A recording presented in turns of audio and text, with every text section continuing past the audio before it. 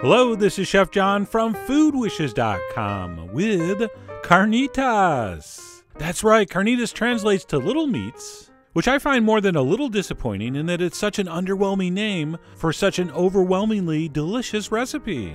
But anyway, it does sound great in Spanish. And despite the name, there's nothing small about this recipe. Big flavor, amazing texture, and as you'll see, produces a taco that is nothing short of fantastic. So let's go ahead and get started. And first up, we need to cut up some pork. And for that, we're going to use something called pork shoulder, also known as pork butt. And all we're going to do is take a knife and cut this up into large chunks. And where you see natural separation of the muscles, you can just trim that apart. And by the way, don't discard any fat.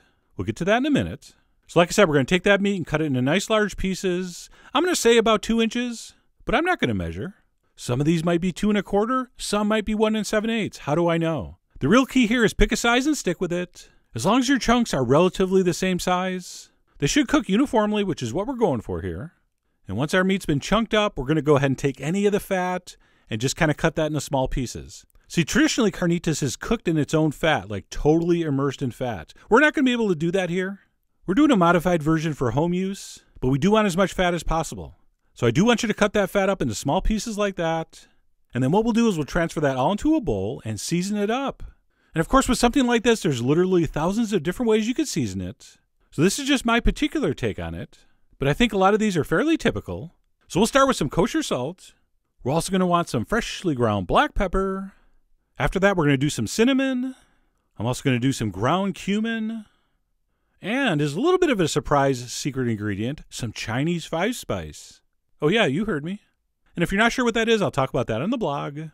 I'm also going to toss in a couple bay leaves that I broke in half, just for better flavor distribution. I'm also going to toss in a handful of peeled whole garlic cloves. And then we're going to introduce some orange in two different ways. We're going to want to do some orange peel, and I literally mean the peel. All right, you don't want too much of that white part, so just take a potato peeler and just peel off some nice big pieces like that. And then once we have the peel of the orange in there, just go ahead and cut that in half and squeeze in the juice. And that's going to add a little bit of moisture and sweetness. I know, thank you, Chef Obvious.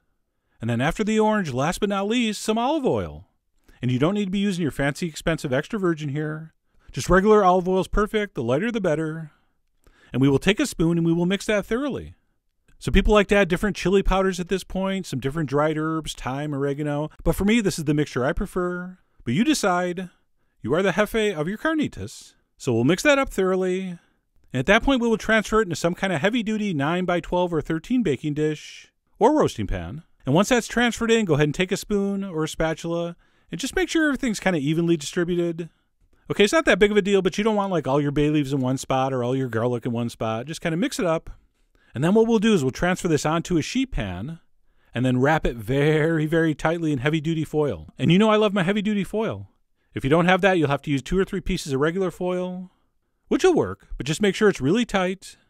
So what we'll do once that pan's ready is we'll place that in the middle of a 275 degree oven for about three and a half hours or until that meat is absolutely fork tender. So let me go ahead and pull mine out and take a look. And of course, the exact time will depend on how big your chunks were. But if you do them about the same size I did, three and a half hours should be about right. But you'll know because a fork will slide into that meat with like zero effort. So that is absolutely perfect. Meat tender, garlic cloves and anything else in there tender. And we're ready for final assembly.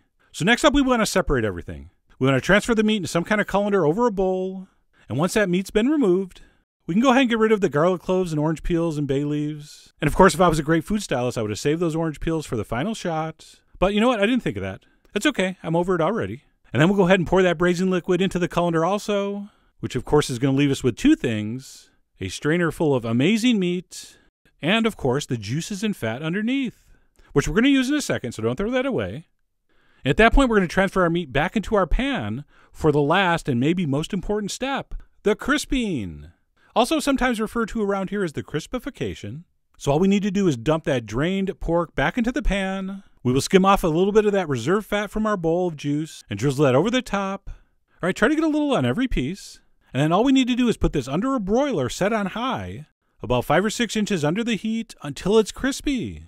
And if you want, which you do, after four or five minutes, pull it out, take a look at it, and maybe drizzle over a little more fat, which is what I'm doing here. And we'll push that back under the heat for another few minutes until it looks like this. That surface should crisp up beautifully. And not only should it look amazing, it should really sound amazing. That surface is going to get all crispy and crunchy.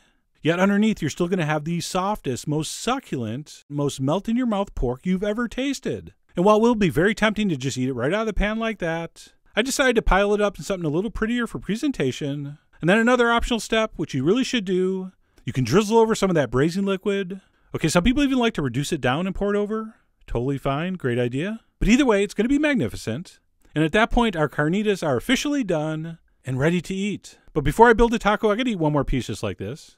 And don't get me wrong, the flavor's amazing. But above and beyond the taste, like I said, the magic is really in the texture. It's that combination of crispy surface and moist, buttery, melt in your mouth pork that just can't be beat. And then let's finish up in style by making one carnitas taco. You're going to, of course, want a nice warm corn tortilla. We'll top that with a few chunks of our pork. Just kind of smash them apart a little bit. A lot of people like to chop this. I do not. I like the bigger pieces. And then all you're really going to want to enjoy with this is a little bit of salsa. Of course, we're using our fire roasted cherry tomato salsa. And I'm also going to do a little bit of diced white onion, just a touch. We'll also do a little bit of freshly chopped cilantro and maybe a little fresh lime to garnish. If you want a little extra acidity to cut the fat in that pork.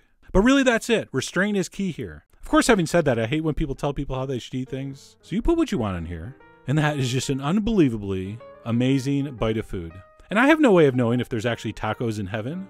I mean, for that matter, I don't even know if there's heaven in heaven.